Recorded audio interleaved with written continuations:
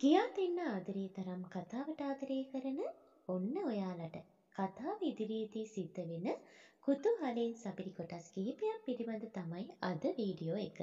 ඉතින් වීඩියෝ එකට යන්න කලින් ඔයාලා තාමත් මගේ YouTube නාලිකාව subscribe කරලා නැත්නම් දැන්ම subscribe කරලා all කියන බටන් එකත් ක්ලික් කරන්න. ඉතින් කොහොම වුණත් ඔන්න ඔයාලා ගිය සතිය තුලදී දැක්කා සමන් දෙනීට කලන්තයක් හැදෙනවා.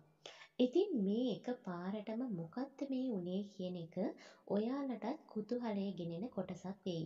මොකද මේ වෙද්දි විනායා නැති දුකෙන් ඉන්න සමන්දිනීට එක පාරට කලන්තයක් හැදෙනවා කියන එක නම් ලේසි පහසු කතාවක් නෙමෙයි. ඉතින් කොහොම වුණත් ඔන්න මේකට හේතුව තමයි සමන්දෙනී අම්මා කෙනෙක් වෙන්න යනවා. ඉතින් මෙන්න මේ ආරංචිය දැනගත්ත ගමන්ම ආයුෂ්ගේ හිතේ ආයෙත් සමන්දෙනීට ටිකෙන් ටික ආදරය වැඩි වෙනවා. ඔයාලට කතාව ඉදිරියේදී බලා ගන්න පුළුවන්.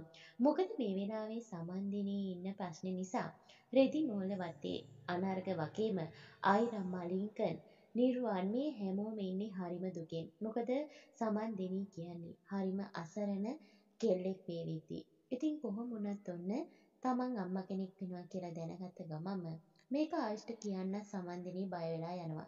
මොකද මේ වෙලාවේ සමන්දිනීට ඇත්තට ආයුෂ් නැති හින්දා ආයුෂ් මොන මොන වගේ කතා කියයිද කියන එකත් සමන්දිනීට මේ වෙලාවේ නැගෙන ගැටලුවක්. ඉතින් කොහොම වුණත් ඔන්න කතාව ඉදිරියේදී බලා ගන්න පුළුවන්.